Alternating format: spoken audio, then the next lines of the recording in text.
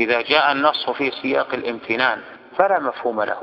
كقوله تعالى ومن كل تأكلون لحما طريا اللحم المقدد الذي يؤخذ من البحر فيجوز أكله. يفهم من كلمة طري أن المقدد ليس داخلا في الحكم وأنه لا يجوز أكله لكن هذا المفهوم غير معتبر. لما؟